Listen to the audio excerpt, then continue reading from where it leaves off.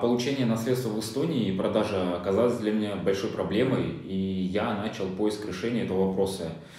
Э, в результате мне очень помогла фирма Goldjade из города Таллина. Риэлтор Игорь Волков э, с юристом оказались э, настоящими экспертами в своем деле. Помогли мне оформить все необходимые документы у нотариуса для получения наследства и провели сделку купли-продажи квартиры за подходящую для меня цену.